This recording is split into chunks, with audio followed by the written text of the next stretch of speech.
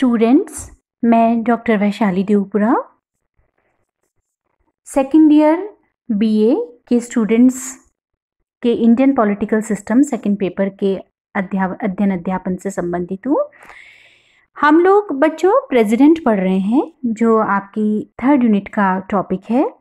और इससे पहले की क्लास में हमने राष्ट्रपति को जो शक्तियाँ भारतीय संविधान द्वारा दी गई है उनका अध्ययन किया था सामान्यकालीन शक्तियों का। पूर्व में आपको मैंने बताया था कि अध्ययन की सुविधा की दृष्टि से भारत के राष्ट्रपति की शक्तियों का विभाजन दो प्रकार से किया गया है।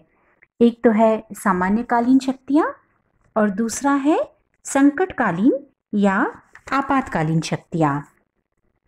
आज हम लोग पढ़ेंगे राष्ट्रपति की आपातकालीन शक्तियाँ अथवा अधिकार। संकट की स्थिति का सामना करने के लिए संविधान द्वारा राष्ट्रपति को कुछ विशेष प्रकार की शक्तियाँ प्रदान की गई है। राष्ट्रपति की ये जो शक्तियाँ हैं आपातकालीन, ये कई बार चर्चा का विषय रही है, संशोधन परिवर्तन का विषय रही है। 1975 में इमरजेंसी के टाइम में बयालीसवें संवैधानिक संशोधन के आधार पर संकटकालीन प्रावधानों को और अधिक कठोर बनाया गया।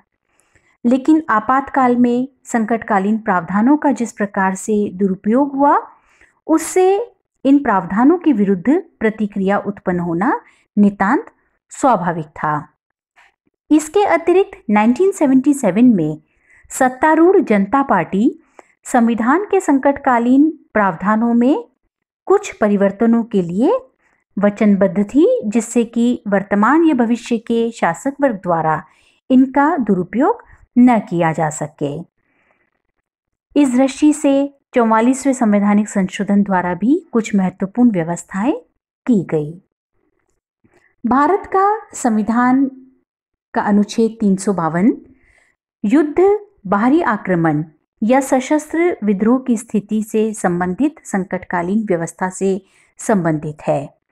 मूल संविधान के अनुच्छेद तीन सौ बावन में व्यवस्था थी कि यदि राष्ट्रपति को अनुभव हो कि युद्ध भारी आक्रमण या आंतरिक अशांति के कारण भारत या उसके किसी भाग की शांति व्यवस्था नष्ट होने का भय है तो यथार्थ रूप से इस प्रकार की परिस्थिति उत्पन्न होने की आशंका होने पर राष्ट्रपति संकटकालीन व्यवस्था की घोषणा कर सकता था। संसद की स्वीकृति के बिना भी यह दो माह तक लागू रहती और संसद से स्वीकृत हो जाने पर शासन इसे जब तक लागू रखना चाहता, रख सकता था। चौवालीसवें संवैधानिक संशोधन के बाद व्यवस्था में कुछ परिवर्तन हुआ। इस प्रकार का आपातकाल, युद्ध, भारी आक्रमण या सशस्त्र विद्रोह अथवा इस प्रकार की आशंका होने पर ही डिक्लेयर किया जा सकेगा। केवल आंतरिक अशांति के नाम पर आपातकाल घोषित नहीं किया जा सकता। राष्ट्रपति द्वारा अनुच्छेद तीन सौ बावन में आपातकाल की घोषणा तभी हो सकेगी जब मंत्रिमंडल लिखित रूप में राष्ट्रपति को ऐसा परामर्श दे। घोषणा के एक माह के अंदर संसद के विशेष बहुमत से इसकी स्वीकृति आवश्यक होगी और इसे लागू रखने के लिए प्रति छह माह बाद स्वीकृति आवश्यक होगी। लोकसभा में उपस्थित और मतदान में भाग लेने सदस्यों के साधारण बहुमत से आपातकाल की घोषणा समाप्त की जा सकती है। आपातकाल पर विचार हेतु लोकसभा की बैठक, लोकसभा के वन बाई टेन सदस्यों की मांग पर अनिवार्य रूप से बुलाई जाएगी। राष्ट्रपति द्वारा की गई संकटकालीन घोषणा को न्यायालय में चुनौती दी जा सकती है। राष्ट्रपति द्वारा अनुच्छेद तीन के अधीन संकट की घोषणा पूरे देश के किसी एक या कुछ भागों के लिए की जा सकती है। इस घोषणा के लागू रहने के समय में 19वें अनुच्छेद द्वारा हमने बच्चों पढ़ा था, मूल अधिकार, उसमें हमने अनुच्छेद 19 में जो छह स्वतंत्रताएँ दी जाती है, उसके बारे में हमने अध्ययन किया था। तो वो जो छह स्वतंत्रताएँ हैं, वो स्थगित की जा सकती हैं। मूल संविधान में ये व्यवस्था थी कि संकट काल के समय नागरिक अपने मौलिक अधिकारों की रक्षा के लिए न्यायालय की शरण नहीं ले सकेंगे।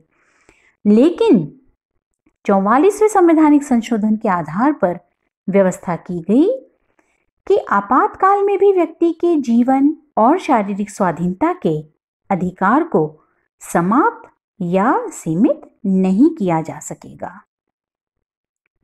इसके अतिरिक्त अन्य अधिकारों की रक्षा के लिए नागरिक न्यायालय की शरण नहीं ले सकेंगे। राष्ट्रपति इस संकट काल के समय संसद को राज्य सूची के विषयों पर भी कानून बनाने का अधिकार दे सकता है। राष्ट्रपति केंद्र और राज्यों के बीच आय के वितरण में भी परिवर्तन कर सकता है। अनुच्छेद तीन सौ बावन के अंतर्गत 1962 में भारत पर चीन 1971 में भारत पर पाकिस्तान का आक्रमण और 1975 में संकट काल की घोषणा की गई है। राष्ट्रपति की आपातकालीन शक्तियों के अंतर्गत जो दूसरी व्यवस्था है, वह है राज्यों में संवैधानिक तंत्र के विफल होने से उत्पन्न संकटकालीन अवस्था में राष्ट्रपति जो आपातकाल लगा सकते हैं। संविधान के द्वारा संघीय सरकार को यह उत्तरदायित्व सौंपा गया है कि वह देखे कि प्रत्येक राज्य की सरकार संविधान के उपबंधों के अनुसार चलाई जा रही है या नहीं। अनुच्छेद तीन सौ छप्पन के अनुसार राष्ट्रपति को राज्यपाल के प्रतिवेदन पर। या अन्य किसी प्रकार से यदि समाधान हो जाए कि ऐसी परिस्थिति पैदा हो गई है कि राज्य का शासन संविधान के उपबंधों के अनुसार नहीं चलाया जा रहा है तो वह संकट काल की घोषणा कर सकता है। संसद के द्वारा एक बार प्रस्ताव पास कर राज्य में छह माह के लिए राष्ट्रपति शासन लागू किया जा सकता है। चौवालीसवें संवैधानिक संशोधन से पहले राज्य में राष्ट्रपति शासन की अधिकतम अवधि तीन वर्ष थी, लेकिन इस व्यवस्था में परिवर्तन हुआ कि राज्य में राष्ट्रपति शासन के एक वर्ष की अवधि के बाद इसे और अधिक समय तक यदि जारी रखना है तो प्रस्ताव संसद द्वारा पारित होगा। जबकि इस प्रकार का प्रस्ताव पारित किए जाने के समय अनुच्छेद तीन सौ बावन के अंतर्गत संकट काल लागू हो और चुनाव आयोग यह प्रमाणित कर दे कि वर्तमान समय में राज्य में चुनाव करवाना संभव नहीं है। किसी भी परिस्थिति में तीन वर्ष के बाद जो प्रेसिडेंट रूल है, वह लागू नहीं रहेगा। इस परिस्थिति में राष्ट्रपति यह घोषित कर सकता है कि राज्य की कानून निर्माण की शक्ति का प्रयोग केंद्रीय संसद करेगी। राष्ट्रपति राज्यपाल सहित राज्य के किसी भी अधिकारी की शक्तियों को अपने हाथ में ले सकता है। वह घोषणा के उद्देश्यों की पूर्ति के लिए उच्च न्यायालय की शक्ति को छोड़कर अन्य समस्त शक्ति अपने हाथ में ले सकता है। जब लोकसभा की बैठक नहीं हो रही हो, उस समय राष्ट्रपति राज्य की संचित निधि में से व्यय का आदेश दे सकता है और राष्ट्रपति के द्वारा अध्यादेश जारी किए जा सकते हैं। संकट की अवधि में अनुच्छेद 19 के द्वारा जो स्वतंत्रताएँ दी गई हैं, उन पर रोक लगाई जा सकती है। संविधान लागू होने के बाद से अब तक कई बार, सौ से भी अधिक बार अनुच्छेद तीन सौ छप्पन के अधीन संकट काल घोषित किया जा चुका है। राष्ट्रपति की आपातकालीन शक्तियों के अंतर्गत बच्चों जो हम पढ़ते हैं, जो तीसरी जो व्यवस्था है, वह वित्तीय संकट अनुच्छेद 360 राष्ट्रपति को जब विश्वास हो जाए कि ऐसी परिस्थितियाँ उत्पन्न हो गई है, जिनसे भारत के वित्तीय स्थायित्व या साख को खतरा है तो वह वित्तीय संकट की घोषणा कर सकता है। ऐसी घोषणा के लिए भी वही अवधि निर्धारित है, जो हमने अनुच्छेद तीन सौ बावन में डिस्कस करी थी। इस अवधि में राष्ट्रपति को यह अधिकार होगा कि वह आर्थिक दृष्टिकोण से किसी भी राज्य सरकार को आदेश दे सकता है। संघ तथा राज्य सरकार के अधिकारियों के वेतन में, जिनमें सुप्रीम कोर्ट, हाई कोर्ट के जजेस भी शामिल है, उनमें कमी की जा सकती है। राष्ट्रपति राज्य सरकारों को इस बात के लिए बाध्य कर सकता है कि राज्य के समस्त वित्त विधेयक उसकी स्वीकृति के लिए प्रस्तुत किए जाएँ।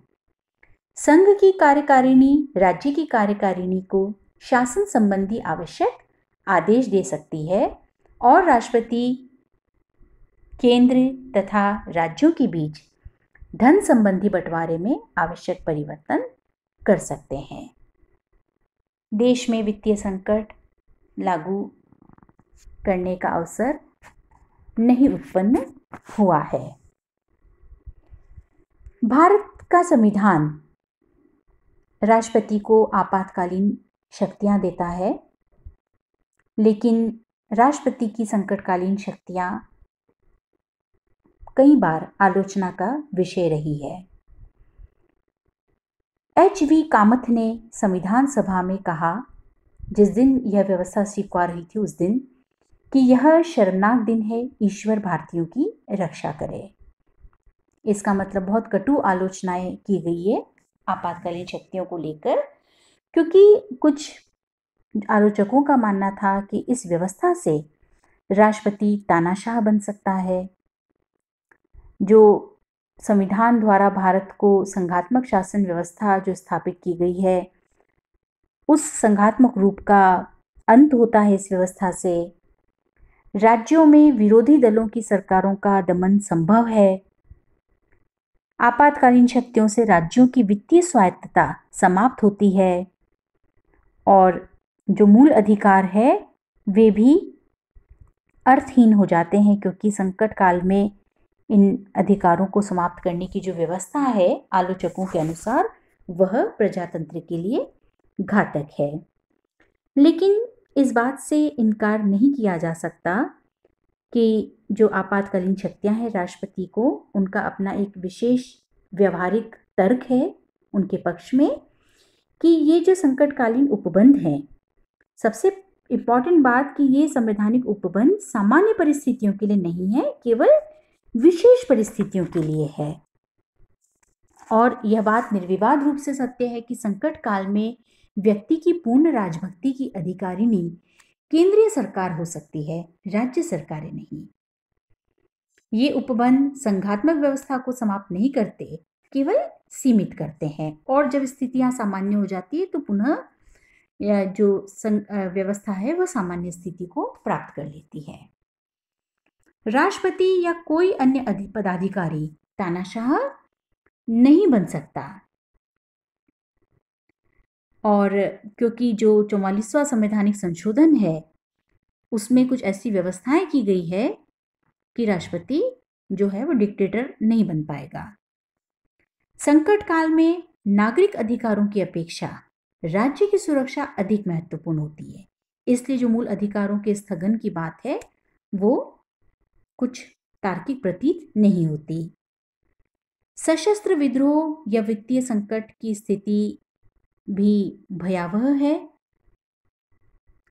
और जो संविधान में दिए गए जो संकटकालीन उपबंध हैं यह मानना पड़ेगा कि रा, जो राष्ट्र की स्वतंत्रता है एकता है प्रजातंत्र की रक्षा है उसके लिए नितांत आवश्यक है।